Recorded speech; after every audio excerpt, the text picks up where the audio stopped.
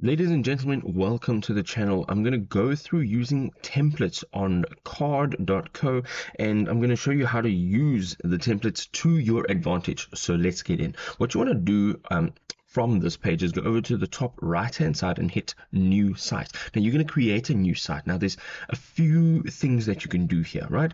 Instead of creating a new site directly with a blank canvas, we can go ahead and use a template.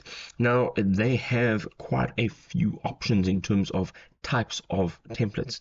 Okay, so let's say uh, perhaps we are uh, creating a landing page. All right so here are a few templates of landing pages. Now i'm going to jump in um, to this one over here that looks pretty cool. Now you can hit the select button on that uh, template and it'll load up. Now, as you can see, it's just giving you some instructions. It's very, very simple. We're going to just say, okay, and got it. And we're going to go through it. Now, this is the part where you get to fully customize absolutely everything.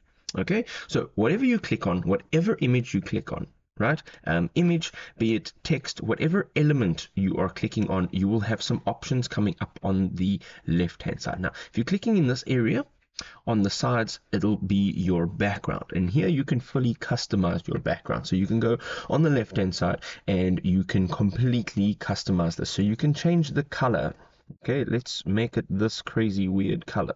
Let's make it red. Okay we can now also change our pattern. Let's make it like that. We can also change the alternate um, color over here. So let's make it like something crazy like that. We can also then change the thickness of that okay?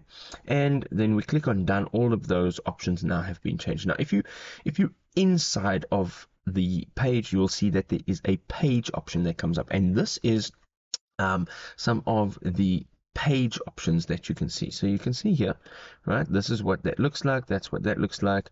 And you can just go ahead and you can change all of the page details, right? You can also center your, um, your, your page. So let's say we want to center it to the right and let's say we want to change it to a wide box okay, um, or a toolbox. So now we have everything happening here on the right hand side. We can also change the width of the page. That's absolutely fantastic. So we can have a background running here. Maybe you have an image running in the background and you can pretty much change everything else about it. We're going to hit done. And if we're touching that background again, we can go ahead and we can choose either um, gradient, image, video, slideshow. So you can choose whatever you want to make your background.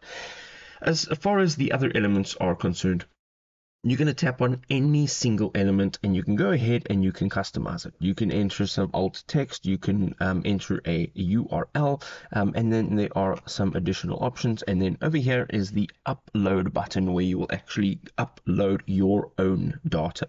Okay, um, again with the text, it'll give you an indication of what element this is. So this is text. So let's click on this. And here you can change anything that you would like to okay? So you can enter that in here. Also you have the type of text. So there's subheading paragraph main heading text um, and then also you have um, some markdown formatting. So you can just go ahead and do these um, commands with your text and it'll change the text style. All right Again, we can go down and we can manage everything that we want to in here just by clicking on it and changing those elements. Now, let's say we want to add an additional element we're going to go ahead, hit this plus button, and you can now enter in whatever it is that you'd like, such as a table. Now, here's this table over here, and um, let's say that we would like to um, customize it. We're going to click on the table. On the left-hand side here, you have all of the options in the table. So you have your columns, uh, headings, rows, and then you can have all of your text style uh, changed there. Now, let's say we want to move this. We're going to click down and we can literally just go ahead and drag it wherever we want, and there'll be a line to tell you where it's going to go. All right, here's a button that we can add. Uh, edit over here so you can change the label the icon uh, you can see there's tons of icons really there's lots of icons over here um, so let's say we want to um, have this icon over here and then you can enter in your URL So when somebody clicks on it, that's where they will go. And again, you can customize everything about the look and the feel of that button. Now, once you're done, you're going to go ahead and you're going to hit this um, publish this site button and you'll have some options. And now the site has been completely customized to your liking. And um, this can really be something absolutely wonderful. You can do absolutely anything you want with this uh, with this template. If this was a helpful guide, please do show your support. Hit us with a like, and we will see you in another awesome video. Happy building, people.